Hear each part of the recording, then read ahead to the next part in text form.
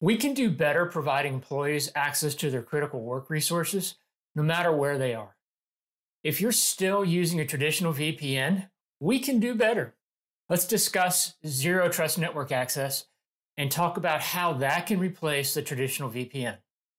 Hi, I'm Steve Murphy. I'm a vice president at ARG, and while I work for ARG, this video is my own and does not represent the views or opinions of my employer. This channel is dedicated to helping technology leaders make great business decisions. And traditional networking methods that rely on hardware based VPNs is not a great business decision in this day and age. VPNs just aren't as practical for securing today's network environment. VPNs are nearly 30 years old, invented when the internet access was in its infancy, and security and access to workloads were very different. Back then, through just until a few years ago, the old hub and spoke approach and data centers was fine. VPN was more or less fine as well. People were still going to work at their offices five days a week, and all the corporate resources were on company managed servers and some computer closet. If you had a remote employee, they were typically the exception, and they understood that getting back to corporate resources was a bit of a challenge you were generally just coming to the data center and not seeking internet access over that VPN as well. Internet access was generally done outside the VPN, at least that's been my experience. But the cloud, in combination with, with a truly mobile workforce, as well as a heightened uh, concern around cybersecurity, has changed all of that. And IT managers have to organize and accommodate not only on-prem corporate resources, but cloud-based services such as Salesforce, Office 365, and so forth. To deal with this evolution and a mobile workforce that we have, um, we've developed two basic solutions. The first is to use that legacy VPN to connect to the business network and then jump to uh, internet resources from there. It's not a great experience for IT since this usually requires manual configuration at the router level and latency complaints that can be hard to solve uh, from the end user. Uh, speaking of the end user, it's not that great of an environment when more and more people are working remotely, a fact that's not likely to change even though we're getting back to the office and in-person meetings. A full 90% of companies surveyed still plan on sticking with some remote or hybrid work model in, uh, and in short, the remote revolution is here to stay. So let's take a look at the second option, Zero Trust Network Access, or ZTNA, and see how that compares to an on-prem hardware solution. Now, if you're not familiar with ZTNA, it starts from a position of denying access to everything for everyone. And then you open up the resources based upon the rules that you create. I like to use a hypothetical exclusive hotel analogy. Uh, imagine the most exclusive hotel possible, a place where the famous go and don't want to be seen or see anyone else. Now, I know this analogy is imperfect, but just work with me on this. If you have a better way of explaining it, please share uh, in the comments. I'd love to get uh, a new way of sharing how ZTNA works with people who aren't familiar with the concept. But anyway, I've also got some deeper dives on my channel. I'm going to put a link to one of those videos in the description of this video and the notes of this video. So if you want to get some more information on ZTNA, you'll have a, a resource. I'm not going to go into the details too much on uh, this video. So ZTNA is like staying in, in this exclusive hotel. Your identity is confirmed before you even enter the property. You go straight through the lobby without seeing a soul you get on the elevator, and the only floor button that's presented is yours. You can't even see the other floors as options. And as you're walking down the hallway to your room, you can't even see that there might be other rooms nearby. The only door you can see is yours. You use your key that only allows you access to your particular room.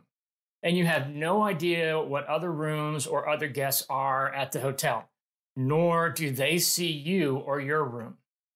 So that's how I explain ZTNA to others, not as familiar with the concept. If a bad actor tries to impersonate our hypothetical celebrity, they may get into the hotel. They may even get access to our room, but the only thing that they can see is that particular room. That limits the attack surface to a very small segment of your environment. So, what are the advantages of ZTNA over the traditional VPN? Well, first is cost. Zero Trust Network Access reduces configuration and complexity, as well as onboarding time. Cloud security services eliminate the need for storage and maintenance. On the VPN side, hardware st- is still required and it requires a manual installation and configuration and physical storage space.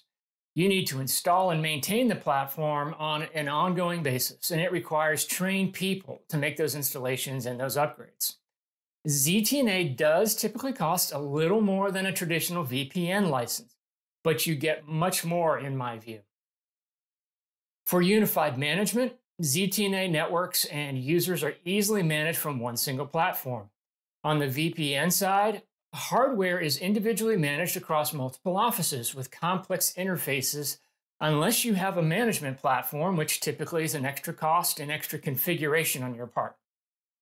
With regard to network performance, you get faster connections with ZTNA and better network performance overall, with users able to route more directly to their desired resources, whether they be in the data center or in the cloud. For VPNs, you generally have one or two data centers for your on prem platform. It's a non optimal uh, traffic routing that causes users to experience low performance. So everyone has to be forced through this, your one or two data centers through your VPN platform, through your security stack in general, and then they get it to go out to the internet, do their work, and that traffic has to come back through the data center uh, to ultimately be uh, delivered over the VPN tunnel back to the user. It's referred to as hairpinning. I've got a bunch of videos on hairpinning and why it's not a good idea. Um, so, in terms of user identification, now let's move on to the next one. Uh, user access with identification and multi-factor authentication is available with ZTNAs. With VPNs, user identities have to be managed across multiple firewalls, and your identity platforms that you can choose from and integrate with may be limited. With ZTNA, well, you get uh, zero trust application access as the name would imply. You can provide access to as many or as few applications as the user requires. With a VPN, there's no inherent segmentation of application access. And that gets us to our last item microsegmentation. So, when users access only permitted resources across the network with ZTNA, um, but you have to separately segment and manage those segments or microsegment microsegments in your network with a traditional VPN. And this can be extremely complex and expensive. I guess to sum this up, today's mobile corporate worker needs a new solution that allows them to access the internet securely without having to jump through an overly complex network. That's the promise of ZTNA. In fact, using ZTNA will turn the internet itself into your corporate network. No more forcing traffic through headquarters or branch offices that could be hundreds of miles or even thousands of miles away. Instead, you hit the cloud services more directly. Now, we'll say you do have to go through most ZTNA provider networks. And so it's not truly a direct route to those cloud workloads. But if your ZTNA provider has a good pop density and um, would expect a vastly superior experience to the traditional VPN. So, pop density and locations are one of your more important purchasing considerations when you're looking at ZTNA. I just wanted to mention one, um, that one of the killer features in this model is a device posture check, which takes permission policies right down to each employee's uh, end user device. So um, it sets the requirements for individual devices before they ever gain access to the company resources. And it requires attributes such as um, the presence or specific anti uh, presence of a specific antivirus solution, an operating system update, or specific files or certificates being present on that device. And yes, device posture checks are now available from some VPN platforms, but I've heard mixed reviews there. We also want ZTNA to address outside contractors and provide them with an agentless access feature. This feature allows you to provide limited access through a web based portal to third party contractors and employees who need access from any device. The best part is that all of this can be deployed with a few clicks and finished within minutes or maybe a few hours, depending upon the size of, of your network. So that's ZTNA. It used to be super hard to deploy. Not gonna, uh, not gonna lie there. but improvements have been dramatic and it's a mature offering at this stage. If you want to continue the conversation, feel free to reach out. My contact information is in the description of this video. If you got some value, I'd appreciate a like or thumbs up below, and thank you very much for doing that in advance.